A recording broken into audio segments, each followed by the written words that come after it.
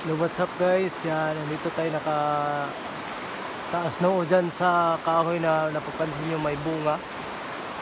At yan. Yan ang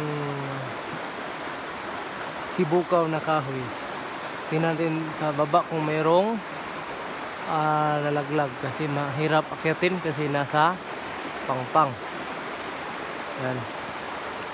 At ito yung tagapaglingkod nyo, it's Sinit. At bago ang lahat, please like and subscribe. Susuungin ko ang lahat ng, ng pagsubok para mapaglingkuran kayo at maturo ko sa inyo kung ano yung bagay na maaring gamitin sa panggagamot, pangdepensa sa katawan at sa iba pa. Yan. Yan, basang-basa na ako kasi yung kanina, alam nyo na yung sunod na upload. Yan. Ayan. Hanap tayo. Ayan. Nagarapa guys. Parang langis to. Tingnan natin. langis. Langis nga. Yan. Langis guys oh. Pero wala po siyang orasyon. Yan. Napapansin nyo po buong buo. Nakita po natin yan. Amuyin natin. Wait lang guys. Ano? Amuyin. Kaya aya naman po kanyang baho pero wala na po siyang laman. Ah, wala na pong langis pero yan, meron pong ah, nakalagay. Hindi natin alam kung ano to. Sana ipapanaginip sa may-ari. Yan nakita natin. Meron pala dito. Siguro ano to ng ano? Inanod to ng Inanod to ng ano? Baka may kasama to. Inanod po to ng baha. Siguro hindi na ginamit siguro to ng may-ari. Baka gusto na niyang ah, mag-iba na naman ang direksyon. Yan. Oh, yan. May good news pa po. Ilapit ko po. Yan, ito. Ilagay ko sa bulsa. At meron pang iba. Papansin nyo po. Yan, ma. Yan. Ilagay ko muna itong bulo ko. Yan. Lapit ko ang cam. Parang may napansin po akong iba na naman. Yan. Buti pala kung may baha, hanap lang tayo sa inanod. Ito. Mata-mata po ng yan, kalabaw. Galing. So hanap pa tayo.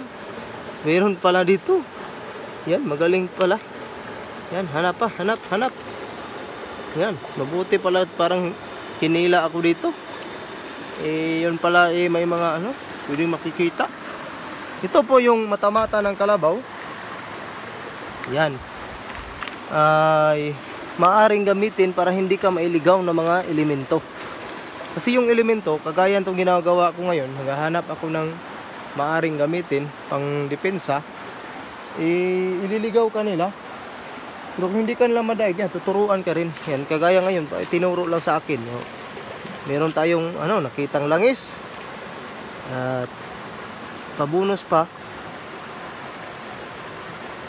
Yan. May pabunus pa, meron tayong nakitang tawag nito. Ah, mata-mata ng kalabaw. Yan.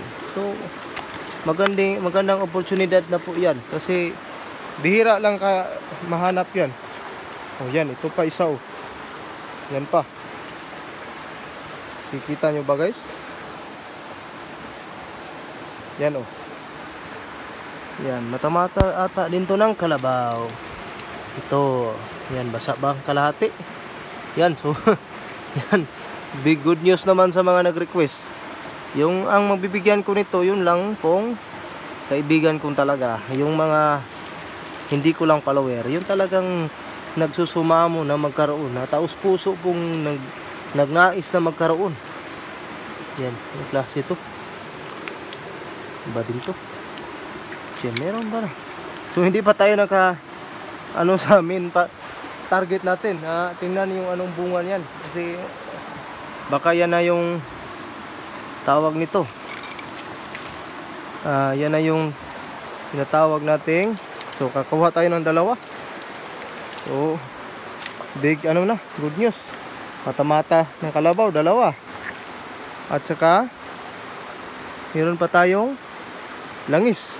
So ah, malalaman natin mamaya, magmaritwala natin at magpatulong din ako sa kasama ko para malaman natin kung ano ang gamit nito.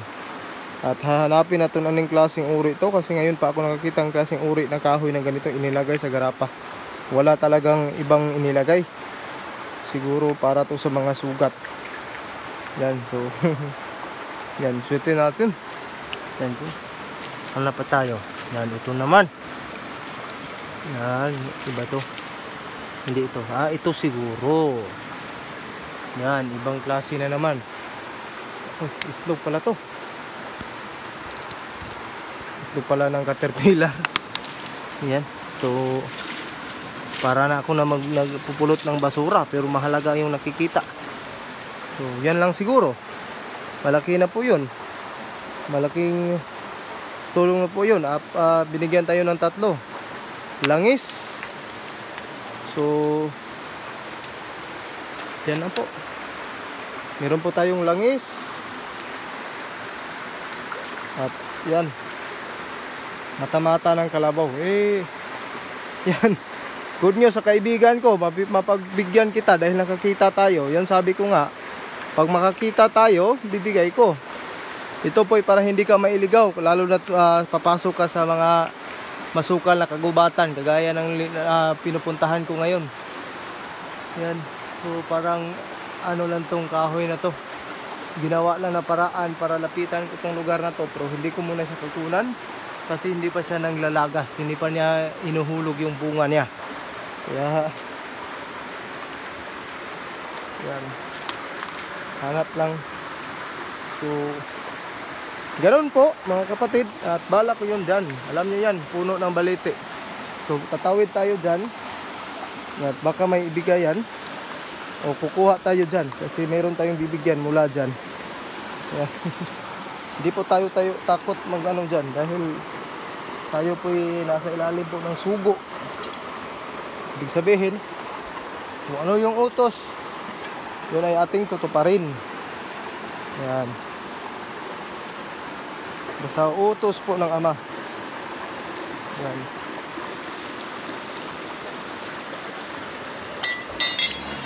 Okay, pero hindi na ako nakitang bato.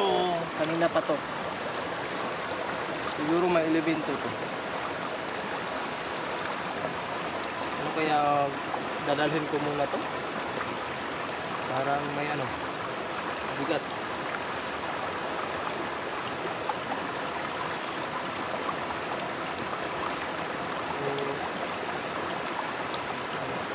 Isang tabi ko muna to, pagbabalikan natin.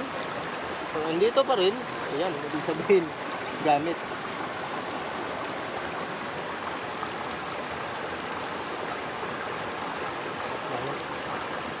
So, dyan ka muna.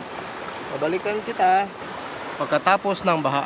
Yan, babalikan ko yan pagkatapos ng baha, pag may baha uli. Ah. Iba kasi naramdaman ko dun, parang mabigat. Eh, gusto ko yung kumukurente lang. Ayaw ko yung mabigat. Yan, patuloy na tayo mga kaibigan. At tayo tatawid. Hmm.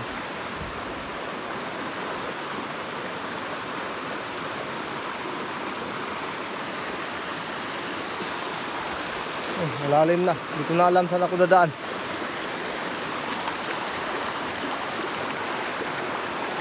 At ina-vlog ko, huwag kayong maggaya-gaya sa akin ng ganito ha. Mag-vlog ng ganito. Paalala lang po. Hindi basta-basta na pahintulutan ka na mag-vlog ng ganito. Maghanap ka ng mga material na bagay para pang depensa. Madami ka pang pwedeng ah, kausapin. Kailangan mo pa maghingi kay ah, tulong kang inang para hindi ka galawin ang mga elemento ng mga anak niya. Alam mo na yung mga anak, alam nyo na yon mga antigero dyan, mga manggagamo dyan, alam nyo na kung sino yung mga anak ni inang. Kaya yung mga ano, bagong simula pa lang, wag muna kayong gumaya sa ga- kagagawan ko. Well, ako pa lang ang nagsubok ng ganito na ano. Yan. So tayo nagpaalam po. Yan, ito kalaki. Yan. Ito po isang uri ng kahoy. Of course, ito kaya puno ng balete. Ayan. Di tayo takot na ano dito kasi kasama natin si Inang. At yan si Inang ay mabait sa atin at laging tumutulong. Yan. So, may nag-request kasi kaya ito.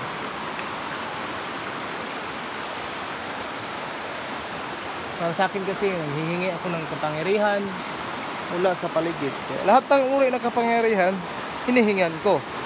Basta't ito'y at tumatawag lang sa Diyos Ama. Huwag nyo kasing ah, ilagay sa isip na ito sila'y hindi pwedeng umakyat sa langit dahil sila po ay may lubos na makapangyarihan. Sila yung may alam kung ano yung sekreto ng Diyos Ama.